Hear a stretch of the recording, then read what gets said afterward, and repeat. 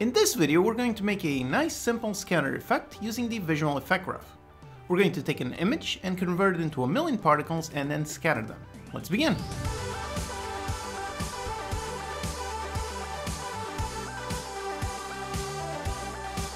Hello and welcome, I'm your Code Monkey and this channel is all about helping you learn how to make your own games with in-depth tutorials made by a professional indie game developer. So if you find the video helpful, consider subscribing. Okay, so what we're going to make here is a very simple but very interesting effect using the visual effect graph. Now if you're not familiar with it, then first go check out the getting started video.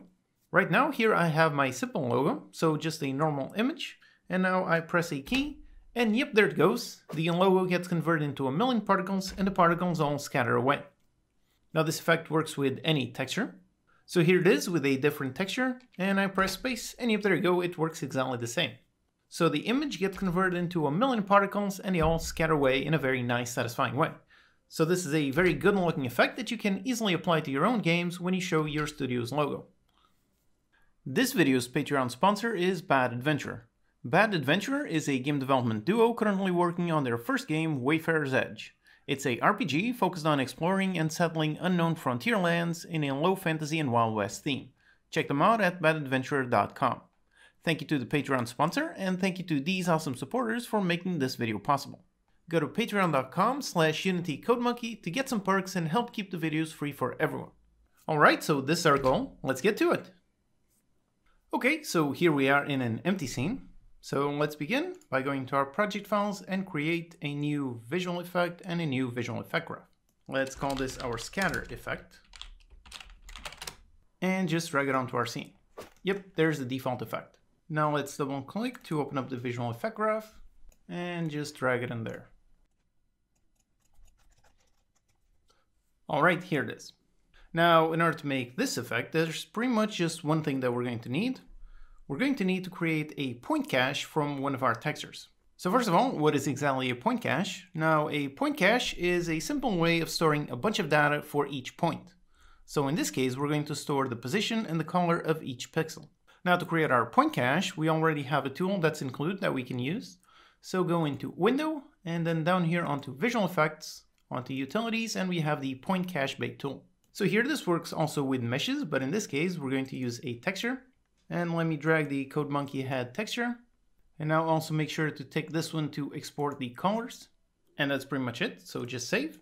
And now here you might see this error message. So it's saying that the texture is not readable.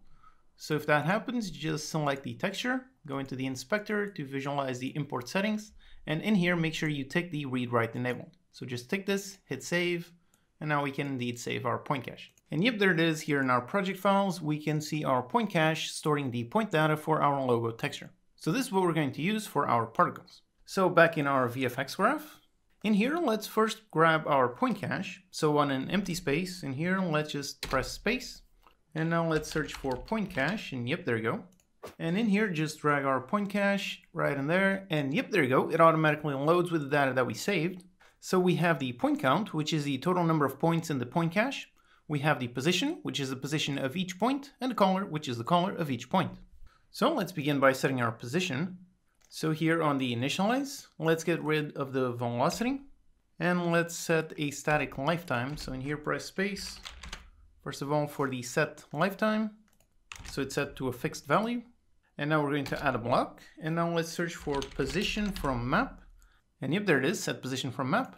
Then we also have a color from map, set color from map, yep. And now we just need to connect these. So connect the position onto that attribute map and the color with down. So in there we can see our particles spawning at different positions. In our position, we can modify the scale in order to get the object to be bigger. So just like this, now they're spawning more all over the place. Now for the color, we need to apply the color onto a normal white texture. So let's go down here and we're going to replace the default particle. Instead, let's select the default particle system particle then let's modify the set size over life. Instead of the particles increasing in size, let's make them decrease. So they start at a certain size and then go down, okay. And finally on the set color over life, instead of changing the color and the alpha, let's only modify the alpha.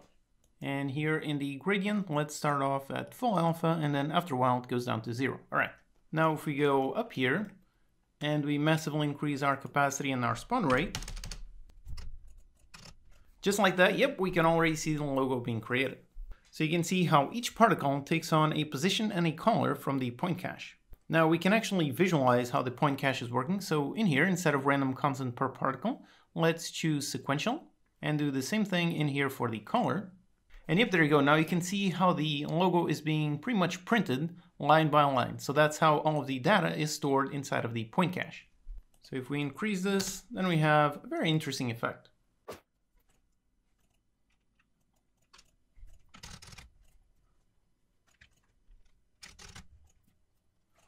Yep, there it is. Look at that interesting effect. All right. But this is not exactly what we want. We want all of our particles to be spawned only once. So instead of a constant spawn rate, let's disable this one and we're going to press space and we're going to add a burst. Let's go with a single burst. So this will spawn this many particles as soon as the delay is over. So if it's zero, it's right as soon as the effect starts. And now in here for the count, which is the amount of particles, we can use exactly the same number as the number of points that we have in our point cache. So just like that, yep, you saw that they all spawn exactly at the start. So as soon as the effect activates, it will spawn all of the particles at once, and after they are their lifetime, then they simply vanish. So that's exactly what we want, but in here, if we put just a single burst, then we constantly have to go back into the scene in order to select it and do play again in order to reset the effect. So just for testing, we can also add a periodic burst. And here we do the same thing, so connect the same point count and set a delay for 2 seconds. So every 2 seconds this will refresh. This way we can easily continue working on our effect, and in the end we just need to disable it and leave the single burst. Alright, so now that the particles are all being spawned in the correct position with the right color, now we just need to make them vanish. So right now they are simply reducing in size and lowering the alpha. So this is not really a very interesting effect. It looks exactly the same as the normal texture. So on our update down here, we're going to add a simple block. So let's press space. Another block, let's write force. And in here we have two main options. We can add some turbulence or a vector field force. Let's start off with the turbulence. And yep, just like that, you can already see the effect in action, so everything moves around very randomly. Now let's play around these values.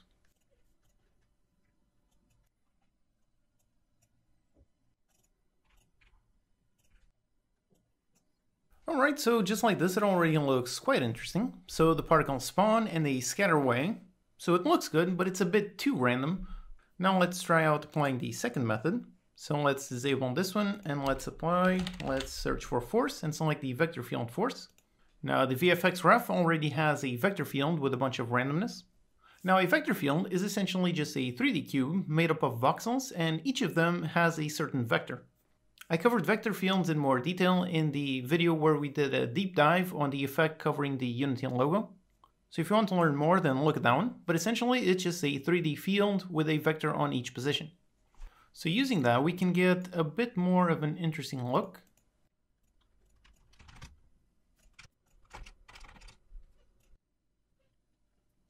Alright, so here I played around with a bit with the fields.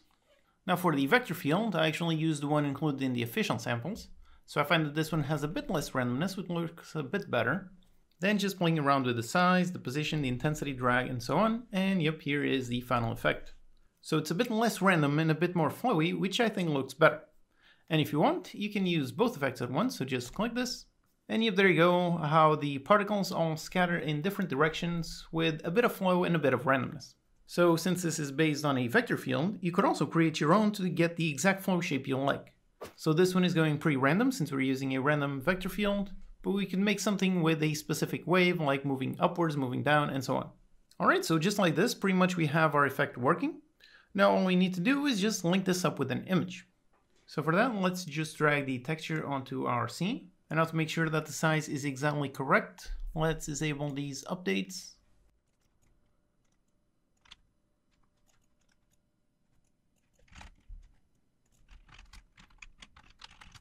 Alright, so here just playing around with the scale in order to make sure that they both have the exact same size. So here we can see the image slightly transparent with the particle spawn right on top. Now to get the effect that we want, all we need is for the image to hide itself just as soon as the particles get spawned. So for handling that animation, we can use a simple timeline. So let's create the game object for our timeline. So let's go into window, then into sequencing, and here we open the timeline window. So now in here, just hit on create. Now let's drag the sprite to animate it. So let's start recording, then select the sprite and set the alpha to full alpha. Then let's go after a bit and set the alpha down to zero. So just like that, the alpha starts off high and becomes low, just like that. And then we drag our scatter effect and let's make it a visual effect activation track. And in here, let's add a visual effect activation clip. So the clip activates as soon as we enter this one. And now we can go back into our scatter effect and down here disable the periodic. So we only leave the single burst. And now in here, we just have to match up these two.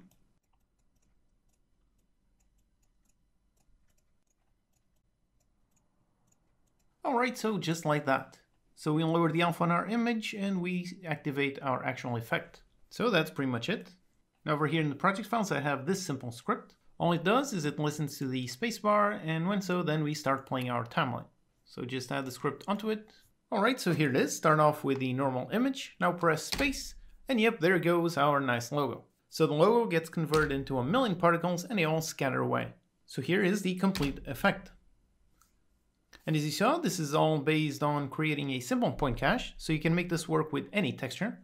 Alright, so here it is with a different logo. Again, just press space, and yep, there you go, everything gets converted into particles and they all flow away. It all works based on a simple point cache, so you can create that from any texture or any mesh. And the scatter is also based on a vector field, which again, you can also make a custom one to get the exact flow that you want. So for example, this is a great, very simple effect that you can add when a game starts and your logo shows up. This video is made possible thanks to these awesome supporters. Go to patreon.com slash unitycodemonkey to get some perks and help keep the videos free for everyone. As always, you can download the project files and utilities from unitycodemonkey.com. Subscribe to the channel for more Unity tutorials, post any questions, the comments, and I'll see you next time.